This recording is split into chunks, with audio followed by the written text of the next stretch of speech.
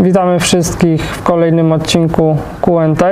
Po dłuższej e, przerwie postanowiliśmy jeszcze przed świętami z Wami się spotkać, wybierając y, pięć kolejnych e, pytań nadesłanych od Was. My staramy się udzielić Wam pięciu naszych odpowiedzi. E, Pierwszym takim pytaniem: studnia chłonna czy drenaż rozsączający? Gdzie najlepiej wsiąka po oczyszczalni? Wiadomo, że najlepiej wsiąka po oczyszczalni, jeśli mamy super warunki gruntowe, czyli piasek i niską wodę gruntową. Standardowy dren, drenaż jest y, drenażem takim liniowym, natomiast jeśli chcemy go skrócić, wybieramy, wybierając oczyszczalnię przy oczyszczalni biologicznej, możemy wybrać pakiety rozsączające, który nam skraca drenaż, długość drenażu o połowę.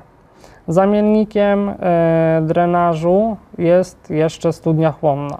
Decydując się na studnię chłonną, musimy upewnić się, e, jakie mamy warunki gruntowe.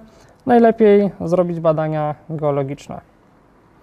Drugie pytanie. Drenaż w nasypie. Jak daleko może być odsunięty od oczyszczalni? Mm, I tutaj, decydując się na taką inwestycję, Musimy pamiętać, że sercem takiego e, przedsięwzięcia będzie pompa lub przepompownia ścieku, która nam przetłoczy e, ściek oczyszczony wyżej do, do drenażu w nasypie. Wybierając e, pełną technologię e, SBR-a, czyli oczyszczalnię biologiczną, możemy taką pompę już mieć zamontowaną na odpływie. Takim przykładem jest oczyszczalnia biologiczna ZB6CKP oczyszczalnia do 6 użytkowników.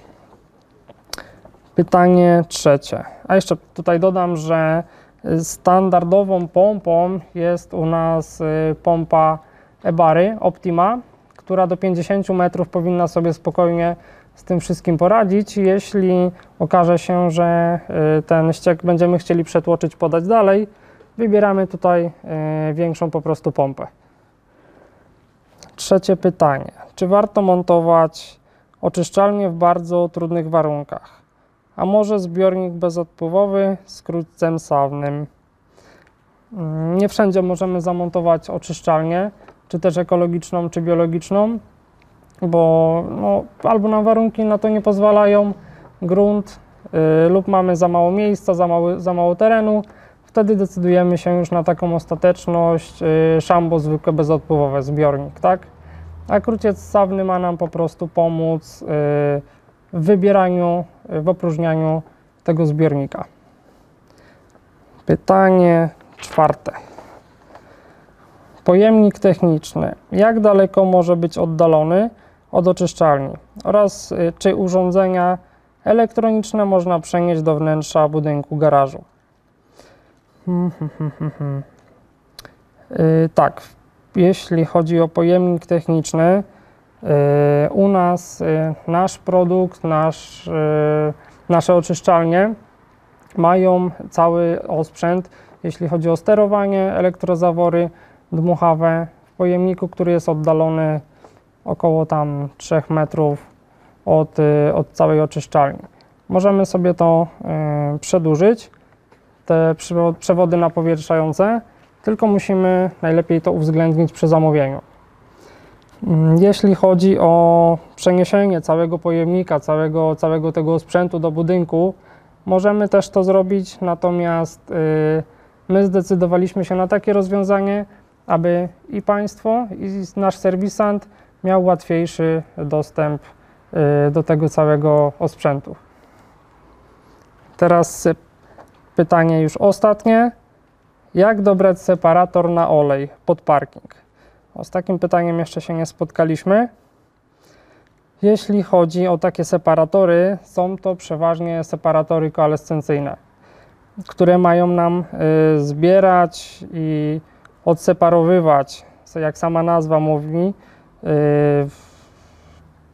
że tak powiem, jakieś substancje ropopochodne, ciężkie, tak?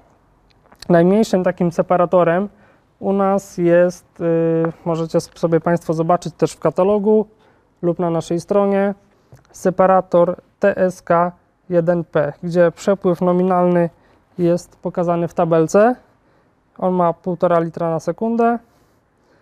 Y, Jest to konstrukcja jednopłaszczowa. Musimy pamiętać, że aby podać, y, jeśli dzwonicie do nas, chcecie się z nami skontaktować, aby podać zagłębienie dna rury dopływu, e, głębokość rury oraz y, no tutaj przepływ nominalny i maksymalny, tak? Takie separatory mają y, same w sobie już osadnik. No i to już chyba na tyle przed świętami. Mogę, mogę Państwu życzyć tylko zdrowych, pogodnych, rodzinnych świąt oraz smacznego jajka.